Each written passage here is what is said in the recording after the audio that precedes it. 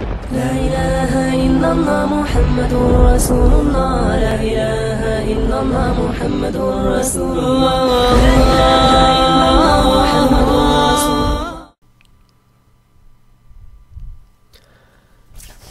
سن آٹھ ہجری میں مشرقین مکہ نے مسلمانوں کے حلیف قبیلے بنو خزاع کے مقابلے میں بنی بکر کی مدد کی، جس کی وجہ سے بنی خزاع کو ناقابل تلافی نقصان اٹھانا پڑا۔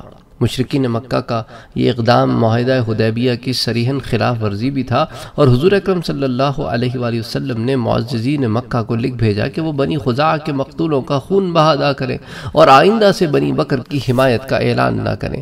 اگر معززین مکہ کو یہ دونوں شرائط منظور نہیں تو پھر اس کا مطلب یہ سمجھا جائے گا کہ معاہدہ حدیبیہ ختم ہو گیا ہے۔ مشرقین مکہ نے ضوم میں آ کر حضور اکرم صلی اللہ علیہ وآلہ وسلم کی ان شرائط کو ماننے سے انکار کر دیا۔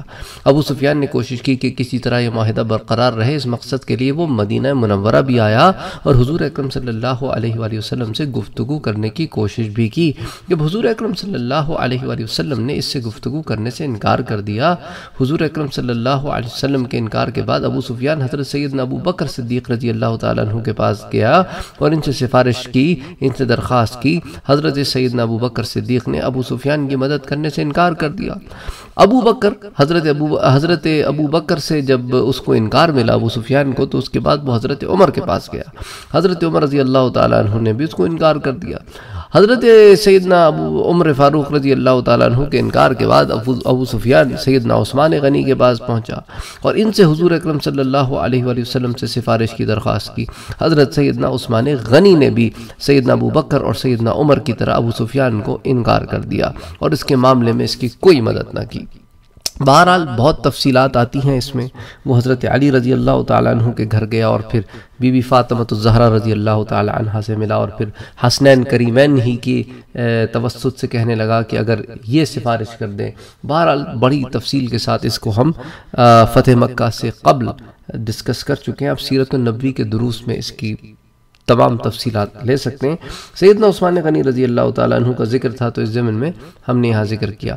بہرحال ابو سفیان جب ہر جانب سے مایوس ہو کر مکے واپس روانہ ہو گیا تو حضور اکرم صلی اللہ علیہ وآلہ وسلم نے صحابہ کرام کو لشکر کی تیاری کا حکم دیا۔ لشکر کی تیاری کے لیے جنگی ساز و سامان کے علاوہ خوراک اور دیگر ضروری اشیاء کی فراہمی میں حضرت عثمان غنی رضی اللہ تعالیٰ عنہ پیش پیش رہے۔ رمضان المبارک سن آٹھ ہجری میں حضور اکرم صلی اللہ علیہ وآلہ وسلم کی سربراہی میں لشکر اسلام مدینہ منورہ سے روانہ ہوا۔ اس لشکر کی تعداد دس ہزار تھی۔ لشکر اسلام کا پہلا پڑاؤ تو مکہ مکرمہ کی گرد و نواح ہوا۔ جہاں ابو سفیان نے حضور اکرم صلی اللہ علیہ وآلہ وسلم سے ملاقات کی اور دارہ اسلام میں داخل ہوئے۔ حضور اکرم صلی اللہ علیہ وآلہ وسلم نے حضرت ابو سفیان کے گھر کو دار الامان قرار دیا اور اعلان کروایا کہ جو شخص خانہ کعبہ میں داخل ہو گیا اس کے لیے امان ہے۔ جس شخص نے اپنے گھر کو بند کر لیا اس کے لیے امان ہے اور جو شخص ابو سفیان کے گھر میں داخل ہو گیا اس کے لیے بھی امان ہے۔ تو اسلام لانے کے بعد پھر یہ صحابی رسول ہوئے اور ابو سفیان سے پھر ابو سفیان رضی اللہ تعالیٰ عنہ ہوئے۔ حضور اکرم صلی اللہ اللہ علیہ وآلہ وسلم نے اس اعلان کے بعد اس شان سے مکہ مکرمہ میں داخل ہوئے کہ کسی کو بھی ان کے مقابلے میں آنے کی ہمت نہ پڑی۔ حضرت سیدنا عثمان غنی اس موقع پر حضور اکرم صلی اللہ علیہ وآلہ وسلم کے شانہ بشانہ تھے۔